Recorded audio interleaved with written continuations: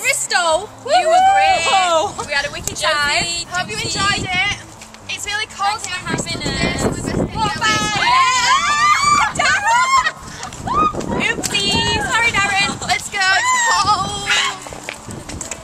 Sorry, Darren.